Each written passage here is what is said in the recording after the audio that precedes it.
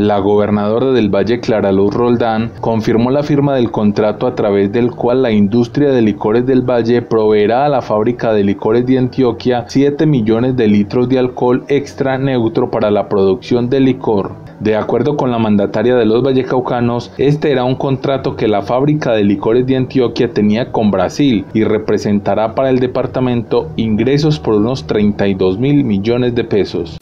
Bueno, nosotros en esta época no todo podemos pensarlo frente al COVID y lo que nos ha afectado, teníamos que mirar hacia otros horizontes, tenemos que pensar en cómo podemos fortalecer la economía de nuestras empresas y por eso hoy tenemos la gran noticia de informarle a los vallecaucanos que acabamos de firmar el contrato con la FLA, que es la industria de licores de Antioquia, en la cual a, a, través de nuestro socio estratégico en la industria de licores del Valle, que es Ambiocon, vamos a producir 7 millones de litros de, eh, que le vamos a vender a la industria de licores de Antioquia, que van a representar un contrato de 32 mil millones para nuestra licorera y para nuestra empresa Ambiocon. Eso es muy importante para el Valle del Cauca. De acuerdo con la gobernadora Clara Luz Roldán, el contrato representa un voto de confianza para la industria de licores del Valle.